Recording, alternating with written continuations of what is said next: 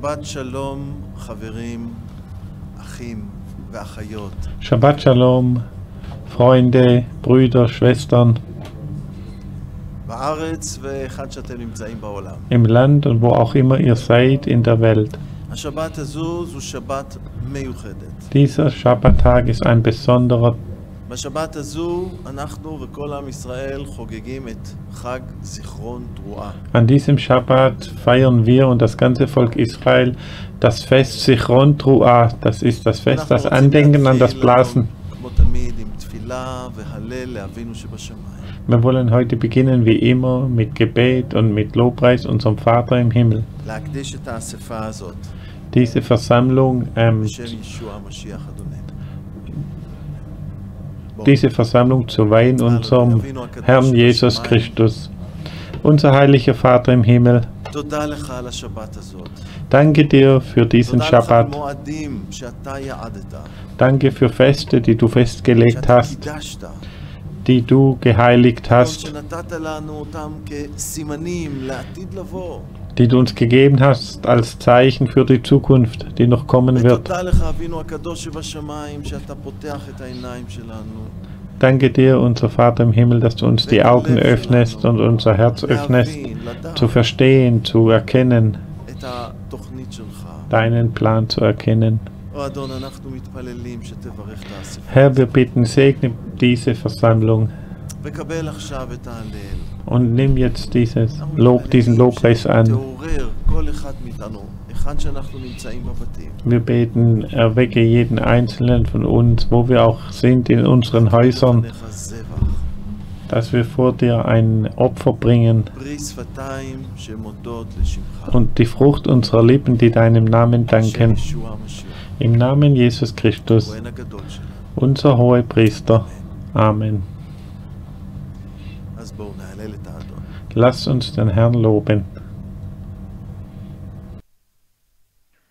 חג שמח, חברים. ביום הזיכרון הזה אנחנו רוצים לזכור שיום אחד ישוע יבוא, הללויה. אלוהים יש- ישלח את מלאכיו, ובקול שופר גדול הוא יחבץ אותנו. אנו מחכים ליום הזה, והתקווה הזאת מעודדת אותנו. אז הרימו ראשיכם. כי קרבה גאולתכם.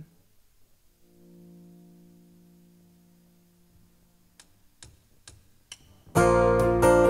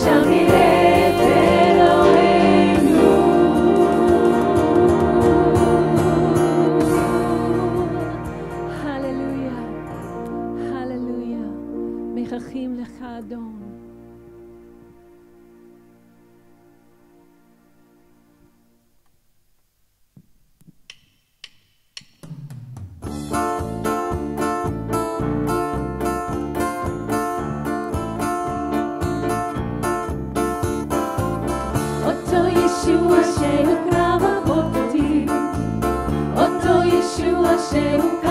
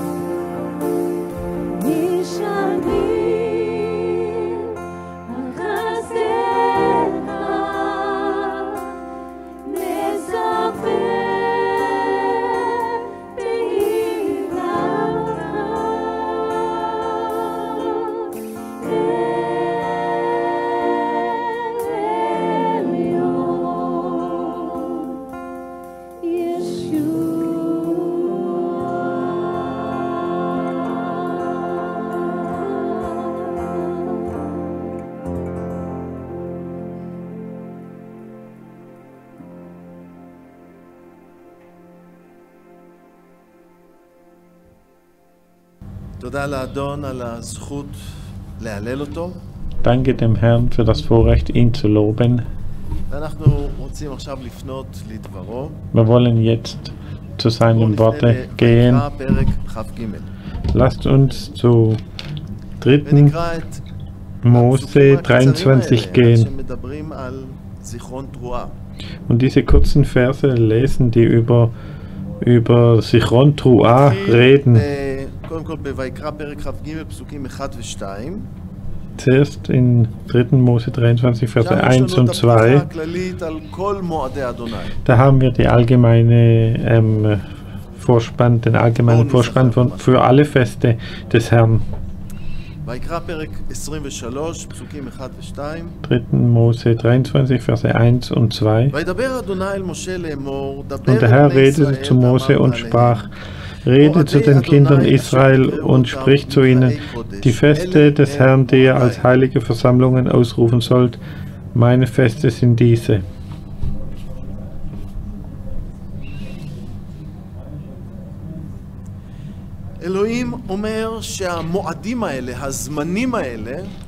Gott sagt, dass diese Feste, diese Zeiten seine Zeiten sind, dass sie heilig sind. Das sind meine Feste, sagt Gott.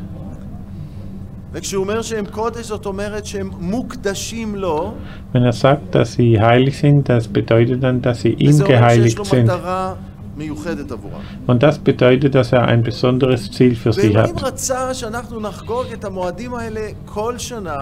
Und Gott hat gewollt, dass wir diese Feste jedes Jahr feiern, während, all, während aller Geschlechter. Zum Beispiel in Vers 14. Im Thema von dem Fest der ungesäuerten Brote. Da sagt er am Ende des Verses. Dass das für alle Geschlechter ist. Auch in Vers 21 im Zusammenhang mit Shavuot, dem Fest der Wochen, dem Pfingsten.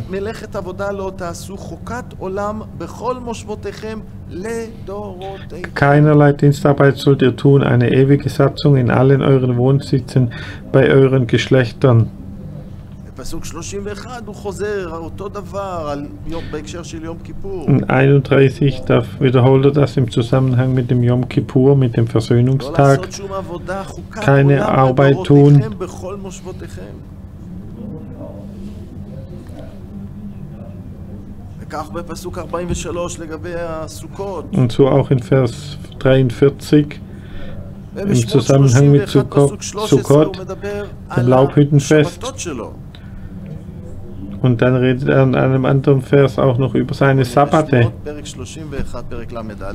Lasst uns das sehen. In 2. Mose 31, Vers, 13, Vers 12 und 13. Okay, 2. Mose 31, Vers 12 und 13. Und der Herr redete zu Mose und sprach, und du redest zu den Kindern Israel und sprich, für wahr meine Sabbate sollt ihr beobachten, denn sie sind ein Zeichen zwischen mir und euch bei euren Geschlechtern, damit ihr wisset, dass ich, der Herr, es bin, der euch heiligt.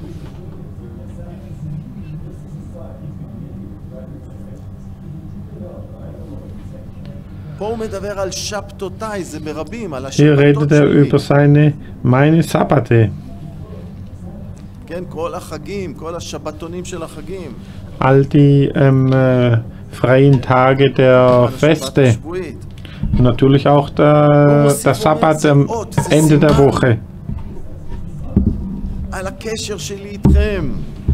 Und er fügt hinzu, das ist ein Zeichen für die Verbindung mit euch. Er sagt, ich bin der Herr, der euch heiligt.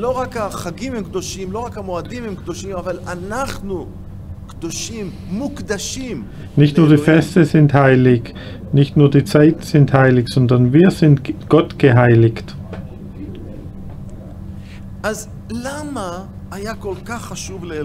Warum war es für Gott so wichtig, dass wir diese Feste in Erinnerung behalten? מלפני לפני 3,500 שנה, כשהוא נתן אותם למשה במדבר? Vor 3500 Jahren, als er diese Satzungen Mose ועד היום. gegeben hat in der Wüste bis heute und auch in die זה Zukunft. דבר מאוד ייחודי. Das ist etwas sehr Besonderes. חגים של 3,500 שנה. Feste, die schon 3500 Jahre alt sind. זה פלא. Das ist ein Wunder. Gott hat das gesagt und er hat uns auch das ermöglicht, das zu tun. Aber warum war ihm das so wichtig? Weil er uns liebt, weil es eine Botschaft gibt in diesen Festen für uns. Das ist ein ein äh, Geheimnis Gottes. Und Gott offenbart dieses Geheimnis seinen Knechten, seinen Dienern, die, denen, die ihn lieben. Was ist hier das Geheimnis? Das Geheimnis ist, dass jeder einzelne dieser Feste, wir haben solche, acht solche Feste, in inklusive der Schabbat, der wöchentliche Schabbat. In jedem dieser Feste hat es eine prophetische Bedeutung, eine prophetische Botschaft, etwas, was genau in dieser Zeit sich erfüllen muss. Wir wissen, was an Pessach passiert ist. Pessach hat die Kreuzigung Jesu symbolisiert. Genau am 14. des Monats Nisan.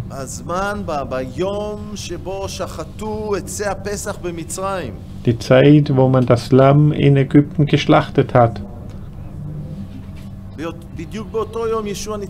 Genau an diesem Tag ist Jesus gekreuzigt worden. Und Gott hat ihnen gesagt, sie sollen das Lamm gegen den Abend äh, schlachten, in der Abenddämmerung.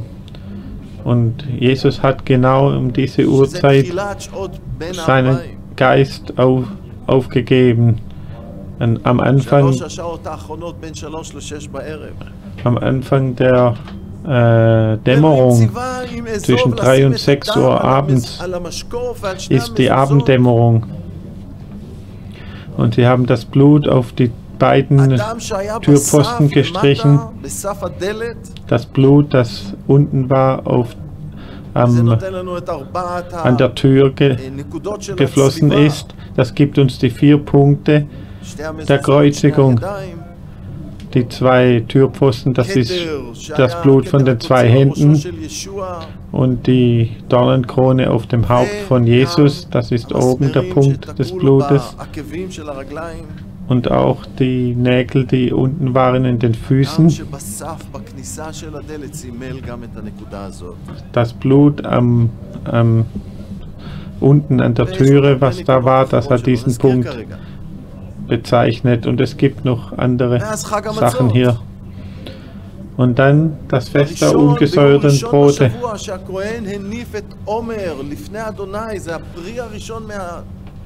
Am Sonntag, als der Priester den Omer, der Schwebeopfer, geweht hat, da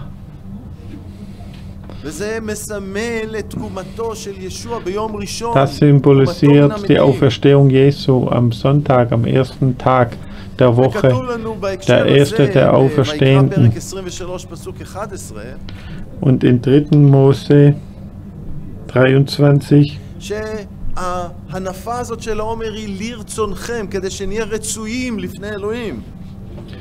ist sagt aus, dass die Gaube vor dem Herrn weben zum Wohlgefallen für uns ist, dass wir ihm wohlgefällig sind. Und das ist genau, was Jesus für uns getan hat, als er von den Toten auferstanden ist. Wegen seinem Opfer sind wir jetzt gerechtfertigt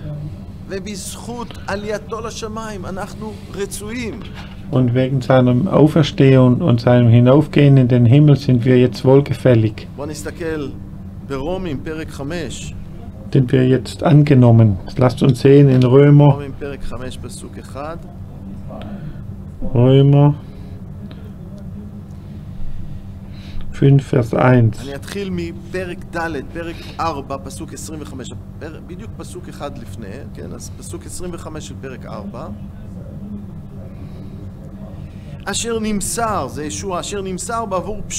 Römer 4, Vers 25 fangen wir an. Und war, welcher unser, unsere Übertretungen wegen dahingegeben und unserer Rechtfertigung wegen auferweckt worden ist,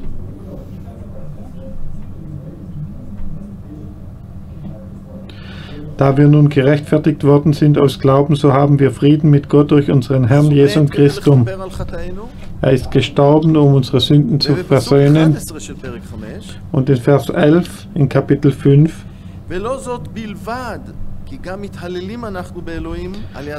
nicht allein aber das, sondern wir rühmen uns auch Gottes durch unseren Herrn Jesus Christum, durch welchen wir jetzt die Versöhnung empfangen haben.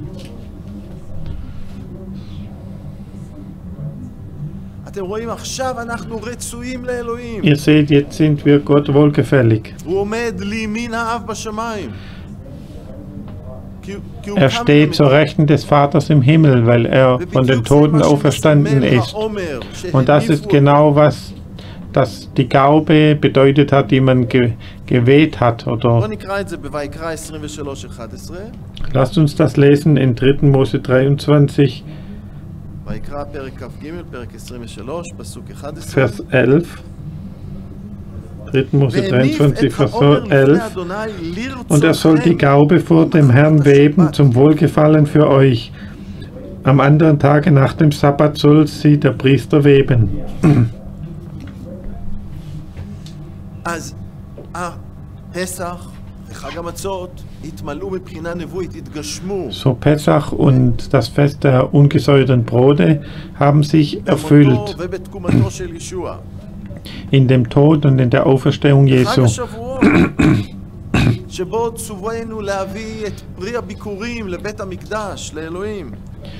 Und das Shavuot-Fest Pfingsten, wo man gerufen ist, die Frucht in den Tempel zu bringen. Dieses Fest hat sich erfüllt, 1500 Jahre später. Genau an Shavuot ist der Heilige Geist auf die 120, die sich versammelt hatten, in Jerusalem gekommen.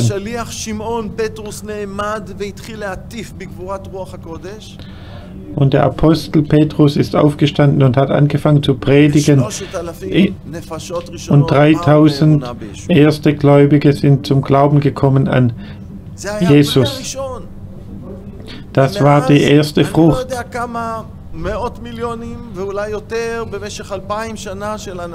Und ich weiß nicht, wie viele hundert Millionen, vielleicht mehr, während 2000 Jahre sind zum Glauben gekommen an Jesus. Nur in China gibt es heute 100 Millionen Gläubige an Jesus.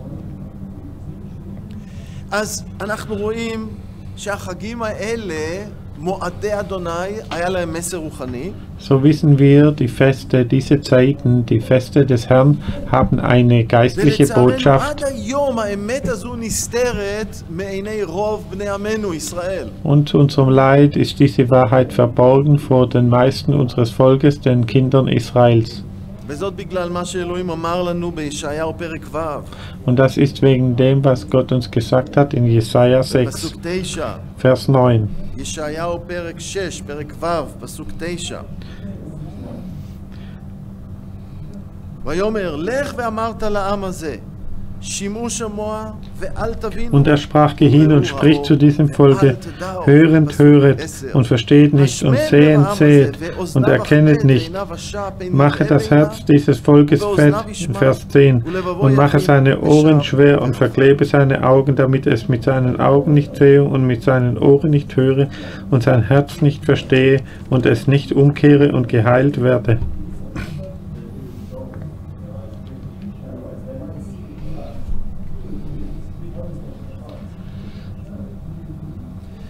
תודה לאל שהנבואה הקשה הזאת, Preis dem Herrn, dass diese שמדברת על עיוורון וחרשות רוחניים, Prophezeiung, die über geistliche Taubheit und Sehen redet. Es hat im Laufe der Geschichte von der geistlichen Führung des Volkes Israel verhinderte sie, die Wahrheit zu sehen. Sie haben allerhand Gesetze erfunden, viele Gesetze erfunden, die Gott nie befohlen hat, Gebote erfunden.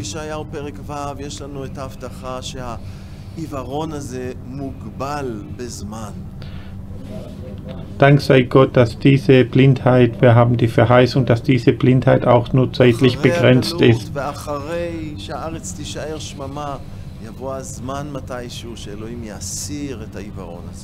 Nach dem Exil und nachdem das äh, Land ähm, ähm, brachgelegen ist, wird auch die Zeit kommen, dass Gott diese Blindheit wegnehmen wird. Aber schon heute offenbart Gott seinen Dienern, wie wir es heute diese Wahrheit austeilen. Es steht uns geschrieben in Amos 3, Vers 7. Amos, Amos 3, Vers 7. Denn der Herr Gott tut nichts, es sei denn, dass er sein Geheimnis seinen Knechten, den Propheten, geoffenbart habe.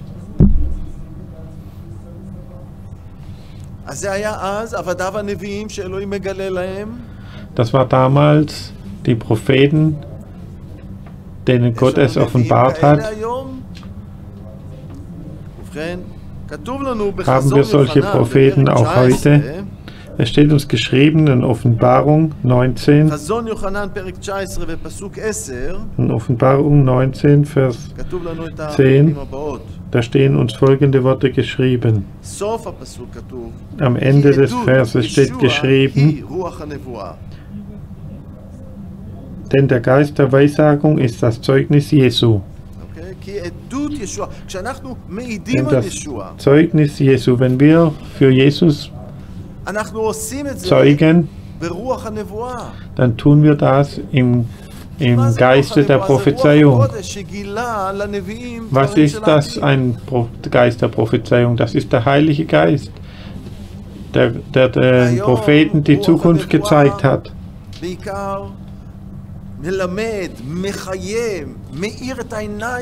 Und heute tut der Geist der Prophezeiung lehren, ähm, die Augen äh, ähm, eröffnen oder die darbringen, an Jesus zu glauben. Er öffnet unsere, unsere Augen. Er belebt das Wort Gottes. Bevor ich von neuem geboren wurde, bevor der Heilige Geist in meinem Leben wirkte, wenn wir Tora gelernt haben in der Schule, in der Oberschule, später, das war, das war langweilig. Das war eine Pflicht, die man tun musste. Und die Lehrer, die uns gelehrt haben, die waren keine Lehrer vom Heiligen Geist geleitet. Niemand hat sie gefragt, ob sie an Gott glauben, auf das sie von der Bibel lehren dürfen. Und das war langweilig, das war tot. Wir haben das nur gemacht, um die Prüfung zu bestehen. Aber nachdem ich von neuem geboren wurde, da hat das Wort Gottes Leben bekommen. Und bis heute lese ich es, das ganze Wort, vom 1. Mose bis zur Offenbarung. Und es ist immer neu, immer voller Kraft und Leben. Und so ladet Gott uns alle ein, zu essen von diesem ähm, Brot des Lebens. Und warum schauen wir jetzt zurück auf Pesach und auf äh, Shavuot? Und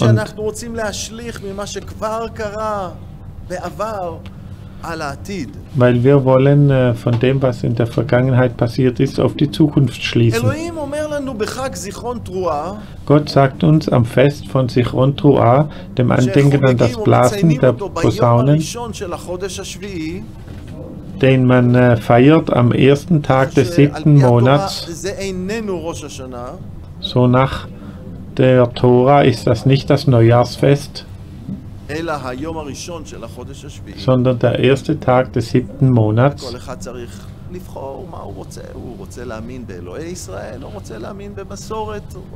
Und jeder muss wählen, was er will. Will er an Gott glauben, an den Gott Israels oder an eine Tradition? Ich erwähle es, an Gott zu glauben und an sein Wort. Und dann sagt Gott, an diesem Fest möchte ich, dass ihr in Erinnerung behaltet den Schall.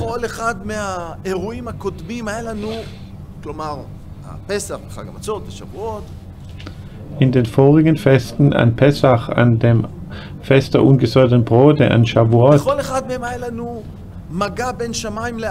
in jedem Fest haben wir einen, einen Treffpunkt gehabt zwischen Himmel und Erde.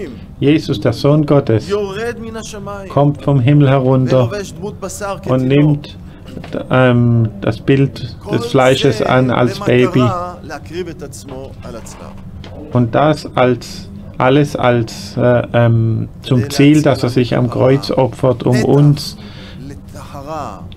die Versöhnung zu gewähren, eine Öffnung zur Erlösung schaffen. וחג המת- חג המצות מסמל את זה שהוא קם, הוא עלה, כיוון מלמטה, מהשאול, מהקבר. Und das Fest der למעלה לשמיים. ungesäuerten Brote symbolisiert, dass er auferstanden ist von unten vom, vom Grab und ist in den Himmel gefahren. ביום התקומה שלו לפני שהוא עלה לשמיים, מיד כשהוא קם ביום ראשון ומגיעה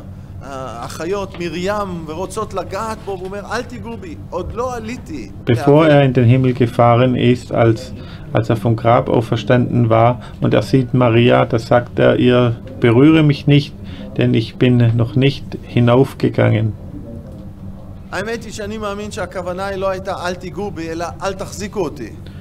Ich denke, die da war gedacht nicht, dass man nicht anlangen darf, sondern dass man ihn nicht festhält.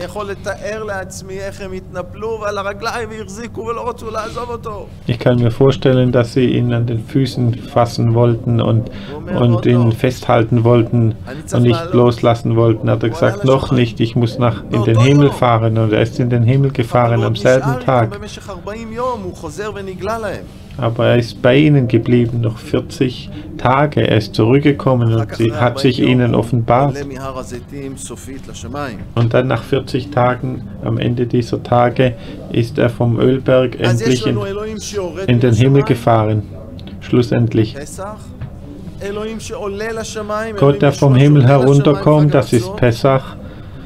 Und der in den Himmel fährt, Gott, der in den Himmel geht, das ist das Fest der ungesäuerten Brote.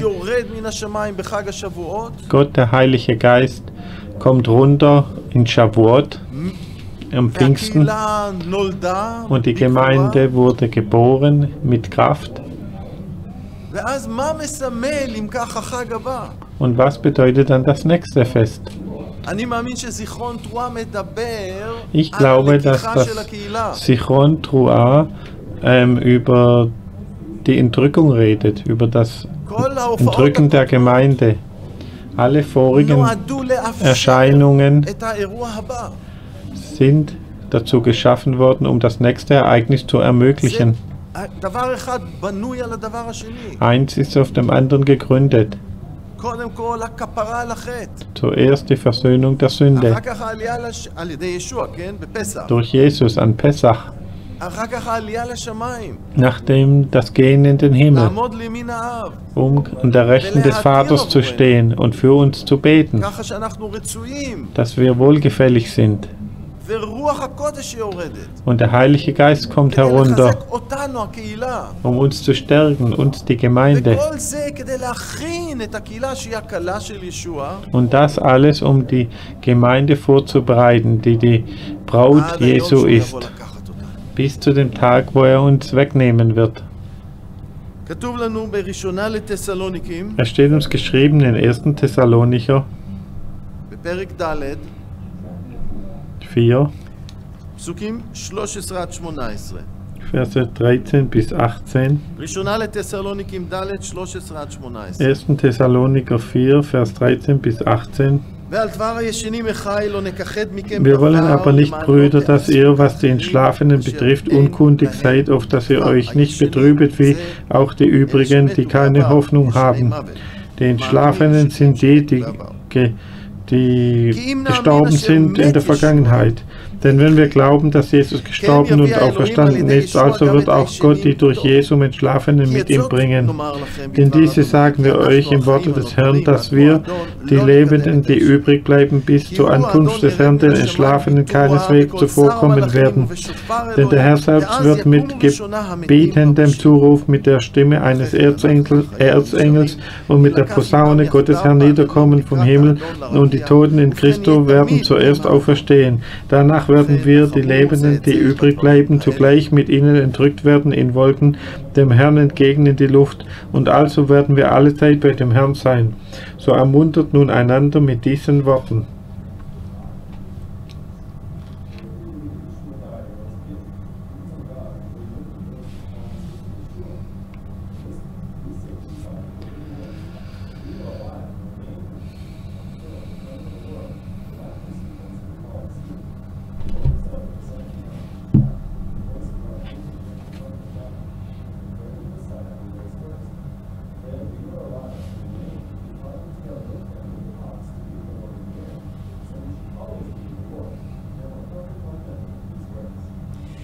אז אתם שמתם לב בפסוק 16, Ihr habt האירוע gesehen in הזה Vers 16, מתרחש ברגע שיש את התרועה של השופר. dass dieses Ereignis passiert in dem Moment, wo es den Schall der Posaune בקול שר המלאכים gibt, ובשופר mit der אלוהים. Stimme eines Erzengels und mit der Posaune Gottes. Und die Toten, dann werden die Toten in Christo werden zuerst auferstehen. Wenn sie diese Posaune hören, ich möchte, dass ihr euch erinnert. Ihr, ihr sollt euch erinnern, sagt Gott, dass eines Tages ein Schall sein wird. Und er wird diejenigen nehmen, die auf ihn warten, die an ihn glauben seine Gemeinde, die, die wegen dem Opfer Jesu ähm, Versöhnung und Gerechtigkeit bekommen haben. Die haben die Kleider, die weißen Kleider der Gerechtigkeit bekommen. Die warten auf ihn. Und sie bewahren diese Kleider vor der Unreinheit der Sünde במתי פרק 24, In Matthäus 24, לאור האמת הזאת, im Lichte dieses, מה אנחנו צריכים dieser Wahrheit, was müssen wir tun? ישוע אומר לנו מה לעשות. Jesus sagt uns, was wir zu מתי tun פרק haben. 24, Matthäus אני 24, אקריא מפסוק 37 von Vers 37 עד 44. bis 44. מתי פרק 24, פרק כ"ד, Matthäus 24, Verses 37 bis 44. Aber gleich wie die Tage Noahs war, so also wird auch die Zukunft des Sohnes des Menschen sein. Denn gleich wie sie in den Tagen vor der Flut waren, sie aßen und tranken, sie heirateten und verheirateten, bis zu dem Tage, da Noah in die Arche ging, und sie es nicht erkannten, bis die Flut kam und alle wegraffte. Also wird auch die Ankunft des Sohnes des Menschen sein. Als dann werden zwei auf dem Felde sein, einer wird genommen und einer gelassen. Zwei werden an dem Mühlstein malen, einer wird genommen und eine gelassen. Machet also, denn ihr wisset nicht, zu welcher Stunde euer Herr kommt. Jenes aber erkennet, wenn der Hausherr gewusst hätte, in welcher Wache der Dieb komme, so würde er wohl gewacht und nicht erlaubt haben, dass sein Haus durchgraben würde. Deshalb auch ihr seid bereit, denn in der Stunde, in welcher ihr nicht meinet, kommt der Sohn des Menschen.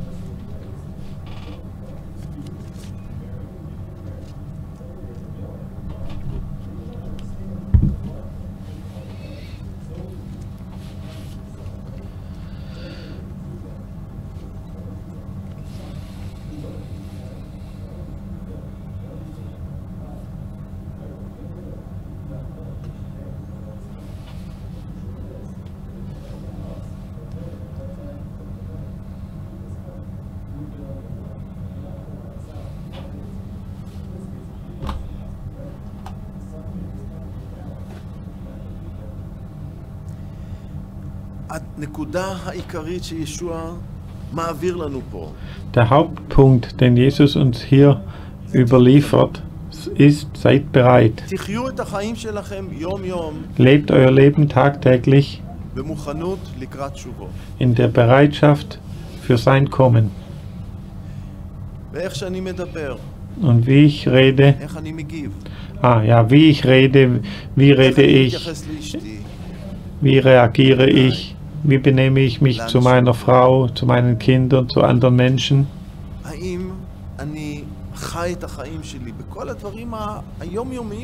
Lebe ich mein Leben in all den tagtäglichen Dingen in solcher Weise, dass ich bereit bin für Jesus?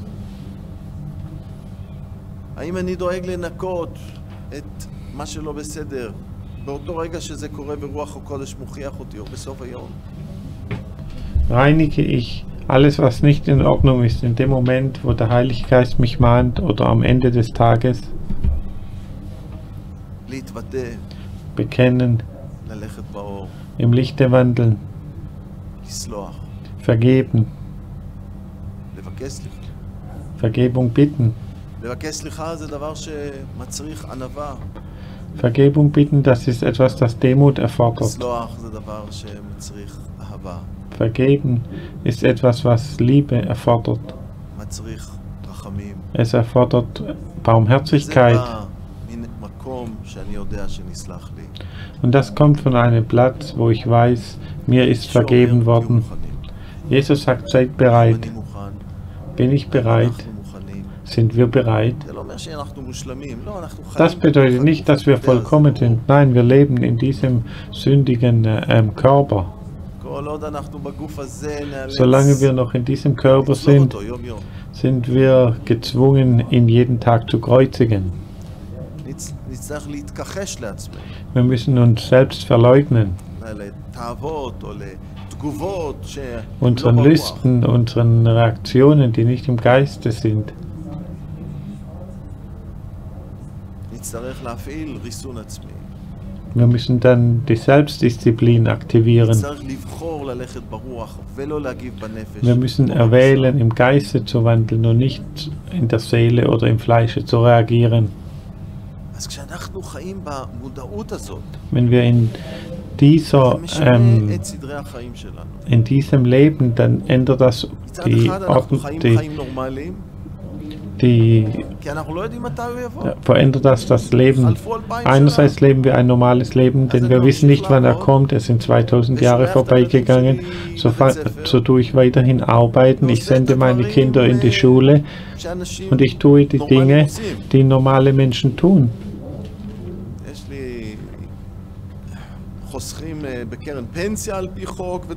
Wir tun äh, Pensionen nach dem Gesetz zahlen und solche Dinge. אבל אנחנו יודעים שבכל רגע אנחנו מוכנים לעזוב את כל זה ולעלות למעלה. Aber wir wissen, dass zu jedem Zeitpunkt wir bereit sind, all dies zu verlassen und nach oben zu gehen. אז זה גם וגם. So auch dies und auch dies. אנחנו חיים באופן מאוד פרקטי, מעשי, Wir leben sehr praktisch und sehr אבל ähm, מרימים את העיניים שלנו. וגם Aber, aber wir erheben המטרות unsere Augen. Die Ziele unseres Lebens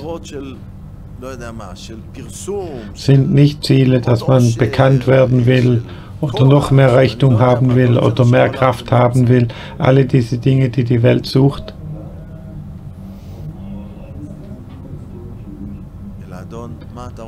Sondern Herr, was willst du von meinem Leben? Wo du mich hingestellt hast, da möchte ich stehen.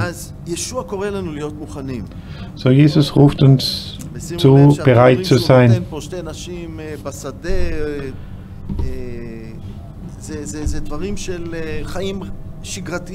Und seht, die Dinge, die er hier erwähnt, sind normale Dinge.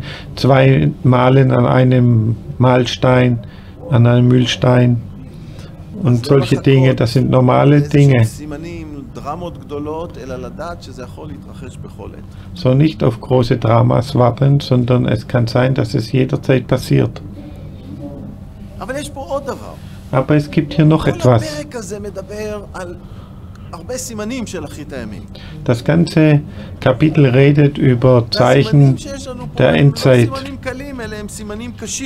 Und die Zeichen, die da gegeben sind, sind nicht einfache Zeichen, das sind schwere Zeichen. Es ist die Rede über Kriege. Wir haben zwei Weltkriege gehabt.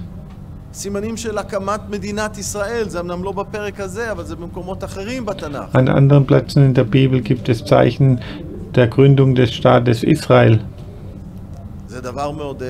Das ist ermutigend. Aber zusammen mit dem, die Gründung des Staates Israel hat mit viel Schmerz zu tun gehabt. Der Holocaust, der davor war. Und all die Kriege, die gekommen sind, in indem der Staat gegründet wurde. Und dann haben wir andere schwere Zeichen. Paulus, als er Timotheus schreibt, spricht er über den moralischen Fall in der Welt. Und hier in Matthäus 24 redet Jesus über Naturkatastrophen.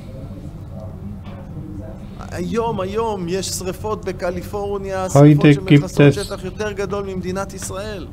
Heute in Kalifornien gibt es äh, Brände, die größer sind wie das ganze äh, Land Israel. Auch in Brasil. Heute habe ich das in den Nachrichten gehört. Da gibt es so Gegenden von äh, Sümpfen, Natursümpfe. Da gibt es Brände, die ein paar Mal größer sind wie das ganze Gebiet von Israel. Die sind außer Kontrolle geraten, diese Brände. Und wir haben auch Brände in Australien gehabt, große Brände. Und äh, Erdbeben und was nicht. Und in Kapitel und in Vers 7 im Kapitel 24 von Matthäus, da spricht er nicht nur über Kriege und Hunger und Erdbeben, sondern auch über Seuchen, über Krankheiten. Das sind alles schwere Dinge. Er redet über Zeiten, wo man die Gläubigen verfolgen wird. Und wenn das alles nicht genügt, dann Vers 29, da redet er darüber, dass die Sterne ähm, fallen werden, dass die Kräfte des Himmels erschüttert werden. Gott wird alles erschüttern. Schaut nach in Hebräer 12, Vers 12. 26 ו-27. אל העברים, פרק 12, Hebräer 12, פסוקים 26-27. Verse 27 und אשר קולו הרעיש 26 אז und את הארץ 27. במעמד הר סיני. dessen Stimme damals die Erde erschütterte, jetzt aber hat er verheißen und gesagt, noch einmal werde ich nicht allein die Erde bewegen, sondern auch den Himmel. Aber das noch einmal deutet die Verwandlung der Dinge an, die erschüttert werden, als solche, die gemacht sind, auf dass die, welche nicht erschüttert werden, bleiben.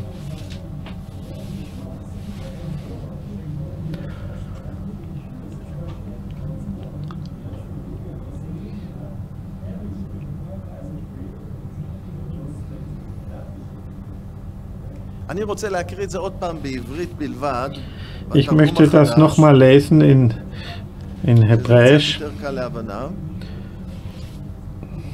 אשר קולו, אני פ- פסוק 26, אשר קולו הרעיש אז את הארץ, ואתה הבטיח באומרו, dessen Stimme damals die Erde erschütterte. Jetzt aber hat er verheißen und gesagt, noch einmal werde ich nicht allein die Erde עוד bewegen, אחד הזה sondern auch den מציין Himmel. הסרת הדברים המתמוטטים, Aber das noch einmal deutet die Verwandlung der Dinge an, die erschüttert werden, als solche, die gemacht sind, auf dass die, welche nicht erschüttert werden, bleiben. Gott wird erschüttern alles, was Menschen gebaut haben, alles, was wir gemacht haben. Und die Corona-Krankheit, in der wir jetzt sind, diese Seuche, in der wir jetzt sind, wie wir gelesen haben in Matthäus 24, das erschüttert die Weltwirtschaft, die Erziehung, die und noch viele Dinge. Das beeinflusst jedes Eck in unserem Leben. Gott hat angefangen zu erschüttern.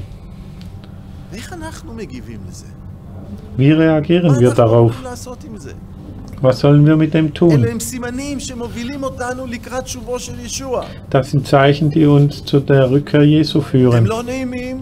Sie sind nicht angenehm, sie sind schwer. Was soll das uns tun? Uns in unserem Geiste ähm, äh, niederdrücken uns zum Zorn reizen und bitter werden und murren? Nein, Brüder. Nein. Das ist nicht, was Jesus uns sagt. Er sagt uns in Lukas äh, 21, Vers 28, Lukas 21, Vers 28.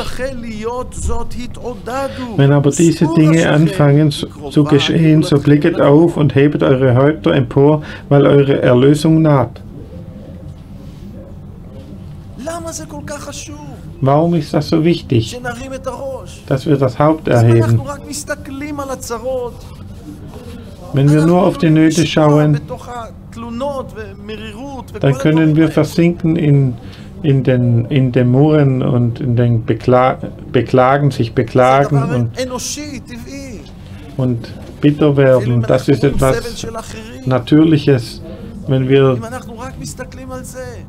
wenn wir die Not der anderen sehen. Wenn wir nur auf dies schauen, dann tun wir nur den, das Haupt hinunter tun in den schmalen Rahmen. Dann fangen wir an zu murren über die Regierung und über den und wie alle es nicht wissen und wie man nicht das Richtige tut. Aber wenn wir unser Haupt erheben, wie es Jesus gesagt hat, wenn ihr all diese Zeichen seht, das ist nicht angenehm, das ist schwer. Und es wird noch viel schwerer werden. Erhebt das Haupt. Wenn ihr nach oben schaut und ihr versteht, wohin das alles führt, zu eurer Erlösung, zu dem, dass ihr in den Himmel genommen werdet und wir einen neuen Leib bekommen werden und alle Verheißungen, die wir haben. Wenn wir das verstehen, dann sind unsere Augen über den Wolken der Finsternis gerichtet auf das Licht, das vom Himmel kommt. Und wir werden Kraft bekommen und wir werden ermutigt werden. Und das ist, was Jesus uns gesagt hat zu tun. Er sagt, seid ermutigt. Wie kann man ermutigt sein, wenn alles zusammenfällt um uns herum? Man kann, weil in, weil in deinem Herzen du einen Glauben hast, der jetzt wächst und stärker wird. Und der Heilige Geist hilft dir. Er erweckt dich. Und er sagt dir, halte nicht fest an all diesen Dingen. Erhebe das Haupt. Bereite dich vor. Wenn du das im Himmel, im Herzen hast, Frieden, Hoffnung, sogar Freude und Liebe im Heiligen Geist. Das kannst du deiner Umgebung geben. Und das kann die Herzen der Menschen berühren. Sie sagen dann vielleicht, wie kannst du freudig sein in diesem Zustand? weil Gott in meinem Herzen lebt. Kannst, du kannst ihnen erzählen über die Hoffnung, die du hast. Aber wenn du nur musst wie alle anderen, was hast du dann den anderen zu geben? Gar nichts. Du bist wie alle anderen. Sie haben nichts, um zu dir zu kommen. Du hast ihnen nichts zu geben. Wir wollen so nicht sein, Brüder und Schwestern. Wir wollen nicht in diesen Platz fallen. Wir wollen das Haupt erheben. Hören, was Jesus uns sagt. Erinnert euch, was Petrus. Erinnert euch an Petrus, als er auf dem Wasser ging. Als er Jesus sah, als er im Wasser war ging. Solange er auf den Herrn geschaut hat, konnte er gehen auf dem Wasser. Aber in dem Moment, wo er angefangen hat, angefangen hat, auf die Wellen und den Wind zu schauen, auf den ganzen Sturm, ist sein Glaube gefallen. Und er hat angefangen zu sinken und Jesus musste schnell die Hand reichen, um ihn zu retten und ihn zu rügen über seinen Glauben, den kleinen Glauben. Oh Brüder und Schwestern, lasst uns unser Haupt erheben, auf dass unser Glaube wachse und stärker werde.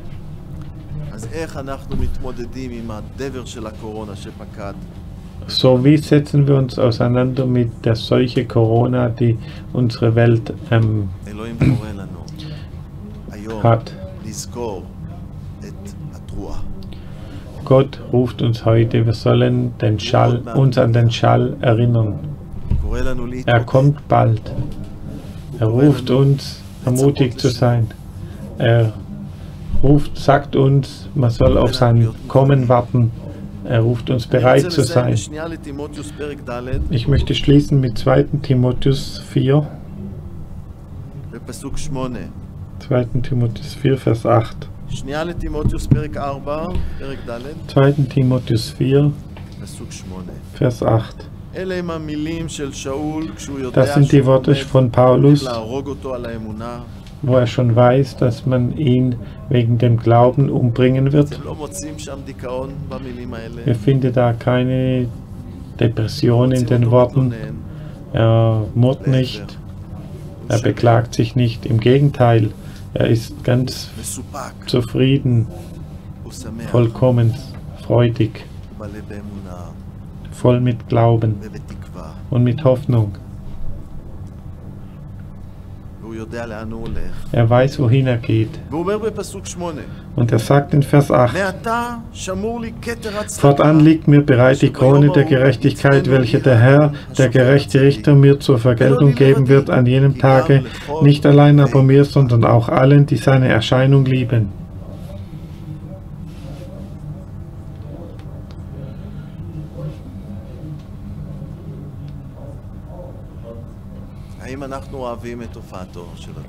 Lieben wir die Erscheinung unseres Herrn?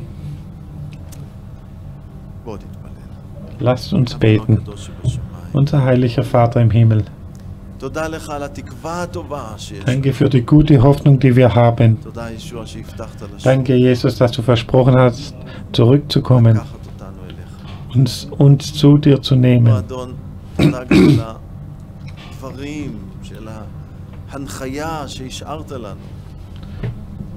Danke für die Anweisungen, die, uns, die du uns gelassen hast, die Warnungen, die du uns gegeben hast. Bereit zu sein, hilf uns. Heiliger Geist, fülle uns. Fülle unser Herz. Hilf uns, bereit zu sein, in dieser Erwartung zu leben in dieser Hoffnung zu leben. Gib uns Ohren, die dich hören. Vergib uns, Herr, wo wir, wo wir gefallen sind, wo die Dornen des Lebens den Glauben ersticken, wo wir gefallen sind in Murren. Vergib uns, reinige uns im Namen Jesus Christus. Danke dir für Sichon Trua, für das Erinnern an das Posaunen, an den Posaunenschall. Amen. Lasst uns den Herrn loben noch mit einem Lied.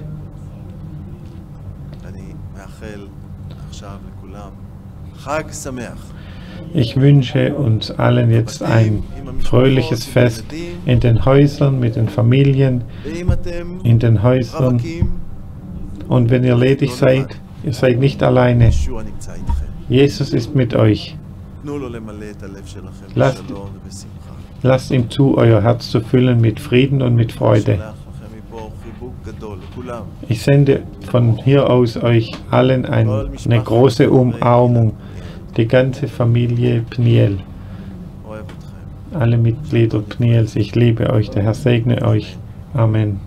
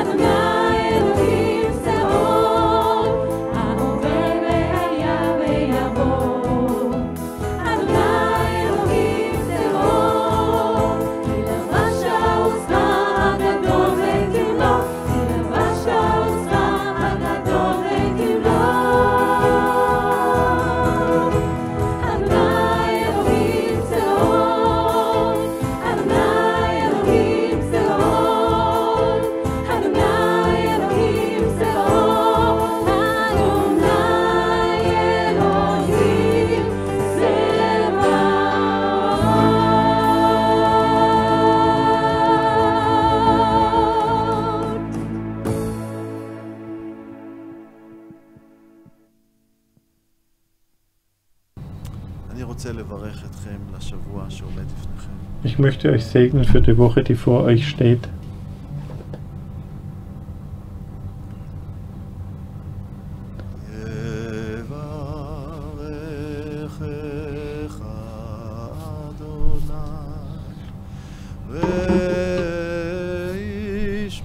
Der Herr segne dich und behüte dich.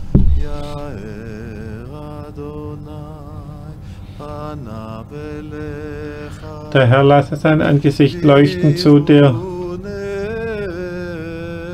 und sei dir gnädig.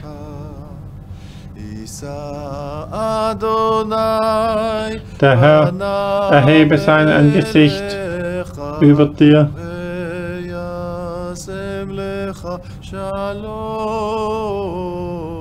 und gebe dir Frieden. Der Herr erhebe, sein Angesicht über dir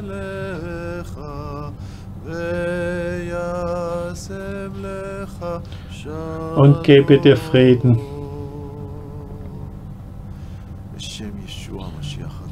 Im Namen Jesus Christus, unserem Herrn. Amen. Shabbat Shalom und eine gute Woche und fröhliche Feste.